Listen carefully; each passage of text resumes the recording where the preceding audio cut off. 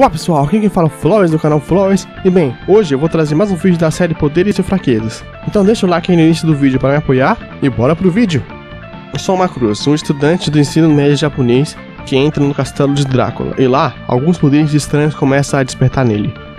Poder da Dominância. Uma sequência inesperada de eventos no castelo de Drácula fez com que os poderes adormecidos de Soma fossem despertados, como a habilidade primária de Drácula, o poder de governar monstros derrotados e as almas de demônios e projetá-las, em uma variedade de formas de acordo com seu potencial.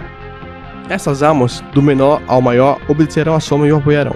Protegerão e até lutarão ao lado de Soma para derrotar seus inimigos. Embora Soma não goste e tema esse poder, ele terá que contar com ele. Para enfrentar as aberrações do castelo de Drácula, essas almas podem ser projetadas de quatro formas diferentes, retratadas pela sua cor. Almas Vermelhas as almas vermelhas são a ofensiva do grupo. As almas vermelhas são baseadas em danos físicos, elementais e mudança de status. Às vezes, uma combinação pode esmagar as defesas inimigas. As almas servem essencialmente como uma versão de soma para sub-armas, comum na série de Castlevania.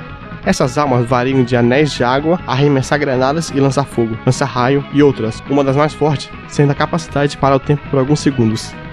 Almas azuis, as almas protetoras do grupo. As almas azuis podem aumentar os status de soma, proteger somas de danos adicionais, transformar soma em alguns monstros, ou até mesmo lutar ao lado de Soma, por dano adicional, ao custo de mana. Alma Guardiã do Diabo, por exemplo, faz com que todas as estatísticas de Soma aumentem muito, mas drena a saúde dele.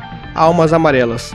As almas de apoio do grupo, ou seja, almas amarelas, aumentam os status de soma sem nenhum custo adicional. Embora possam não aumentar muito os status de soma, às vezes a ajuda que elas dão são mais do que suficientes para decidir entre a vitória ou o fracasso de uma luta. Algumas almas encantadas, como a alma zumbi em Aria of Sorrow, fazem com que Soma se torne muito mais poderoso quando afetado por veneno. Uma alma semelhante existe em Dawn of Soul, a Ghost Soul, que permite que Soma coma comidas estragadas, as quais normalmente o deixariam gravemente doente.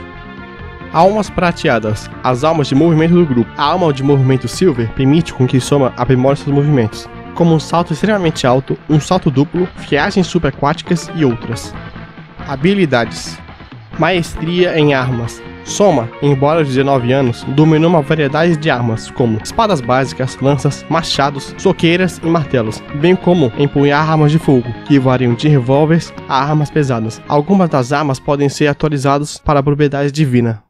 Ataque crítico de armas. Soma pode projetar sua mana através de sua arma e dar às armas propriedades especiais, como velocidade, força, comprimento ou distância. Em alguns casos, até mesmo liberar poderes ocultos das armas, como Gunger, que pode disparar um poderoso relâmpago. Selos mágicos.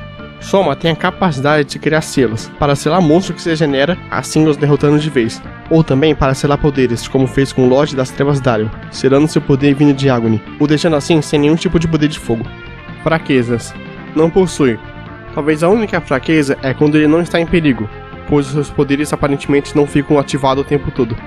Bem, esse foi o vídeo, espero que tenham gostado. Eu vou voltar a falar mais de Castlevania no canal, agora que acabou Invencível e eu não sei mais o que fazer. Enquanto não chegar o anime de Castlevania, a última temporada, eu vou fazer alguns vídeos falando mais sobre os jogos de Castlevania. Bom, até a próxima!